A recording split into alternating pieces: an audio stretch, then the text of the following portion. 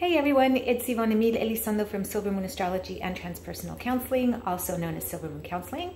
And I am here today because it is January 6th and we do have the Cancer full moon today, um, 5.08 p.m. Central Standard Time. And so I wanted to give you an idea of maybe what the energy um, potentially can show up as and maybe how to mitigate some of that um, energy. So I don't have my chart because I don't have my computer because I'm recording on my phone sorry. Um, it's I have been so unbelievably busy, um, especially during the holidays. Like I, I, I am so booked, which I'm very, very grateful for. But that means some of the other things in my life that I truly enjoy, like um, you know, putting out these videos. Whoever's going to listen to them will listen to them. Um, I kind of like rushing to get done at the very last minute. And of course, my ADHD doesn't help the situation whatsoever. So let's get started. Let's talk about this Cancer um, full moon. It is, again, uh, January 6th uh, at, in the evening or starting the evening and Central Standard Time. All right, so let's talk about the moon. Just a reminder, um, the moon is really responsible um, for initiating the, the essence, okay, or the archetypal energy of our emotions, of our higher mind. Um, sometimes it, it represents our body as well, but the moon belongs in Cancer. It is at home in Cancer.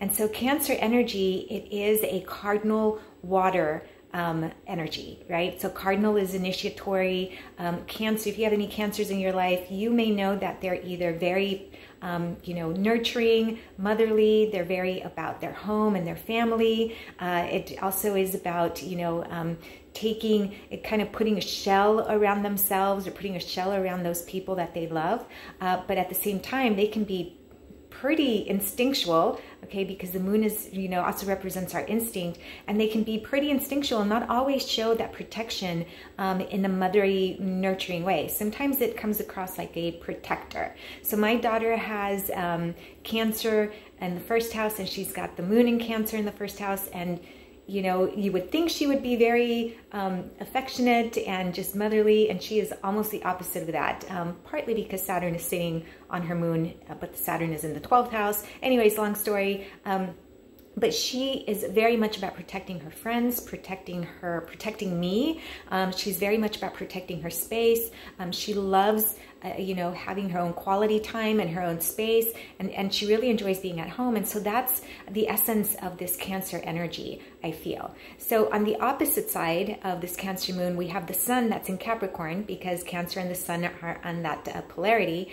And the moon, uh, excuse me, the sun in Capricorn is pretty much conjunct with um, Mercury retrograde, or I should say Mercury retrograde is conjunct um, the sun, right? And so Mercury retrograde in Capricorn, uh, I mentioned this in my previous video, is an internalization of that um, mind communication energy. Um, and in Capricorn, it's very much about practicality and maybe being overly practical or um, really having to internalize a lot of that um, essence of how that work energy um, flows because uh, Capricorn is all about work and ambition and um, really likes to get things done. And so this full moon, you may see the struggle between, you know, that, that natural moon essence in Cancer that says, you know, I really want to um, be of service to my to my friends, to my family, to my home. And then there's this tug of war maybe happening with the mind and um, have feeling mis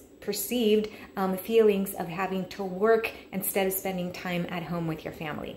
Um, this moon is also very much about the instinct and diving into that emotional essence. So um, fortunately for my daughter, she does have Saturn hanging out in Gemini, which is close enough to that moon, but still out of out of sign, that it creates a, a, little bit of an influence so her emotions aren't kind of, you know, waning as much. Um, but typically the moon in Cancer is very much about the waxing and waning of those moons. It's, it's like that ocean tide coming in and coming out. And so you may feel um, that, you know, this full moon is very much about those emotional tides that are pulling you in and out.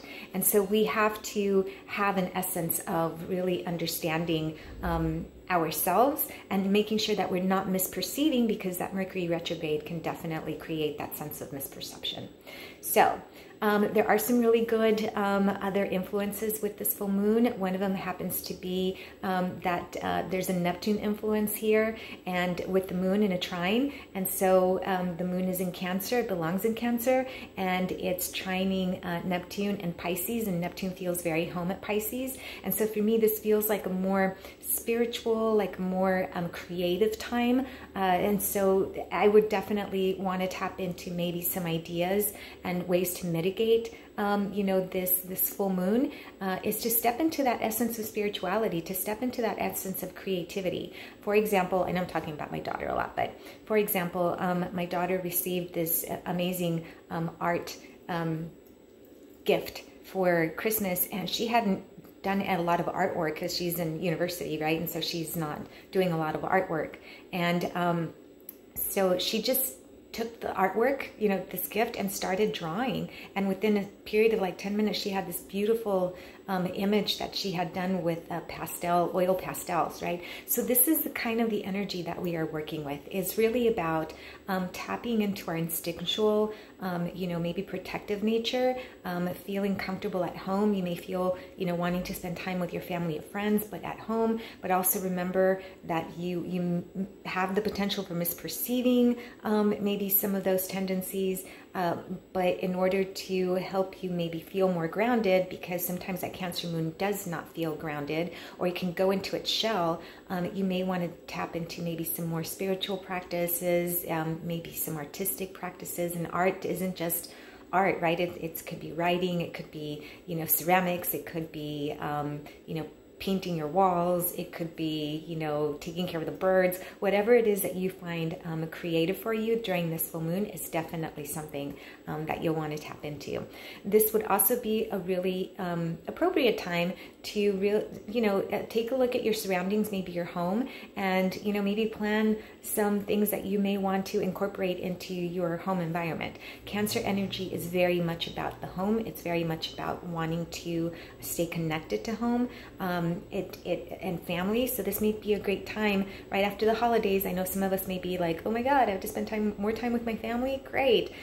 But um, maybe you want to uh, establish or maybe create some opportunities for you to spend time with other family, for example, like your friends or maybe your coworkers or people that you would find um, are a part of your group. So this is the energy that I feel. Um, Venus and Mars, Venus is now in Aquarius and Mars is, is still retrograde in, um, what's it called, um, Gemini. So, but they're in a trine because those are two air signs. So they're in a trine. So the the essence of love and connection and the motivation to, you know, um, facilitate maybe some of those interpersonal relationships may be more feasible during this time, even though Mercury is in retrograde. Um, but it still makes me feel like it's going to be a more cohesive um, time. All we have to do is watch out for that Mercury retrograde in Capricorn. Um, you know, don't become overly practical. Don't take a look too much at the work effort. Um, don't be, you know, all of a sudden feeling like you're not secure in who you are and maybe self-doubt um, because you don't feel like you're being productive. All of these are Mercury retrograde tendencies, and I hope everybody's surviving the Mercury retrograde because, eh, yeah, Anyhow, that's it for me. Um, if you want to learn more about your astrology, please visit me at um, silvermooncounseling.org. That is silvermooncounseling.org. And I would love to do your chart. Again, this is a general expression of the energies, but if you know your chart or if you want to learn more about your chart, come see me. All right. All right, everyone. Take care and have a great um, full moon in Cancer. Blessed be.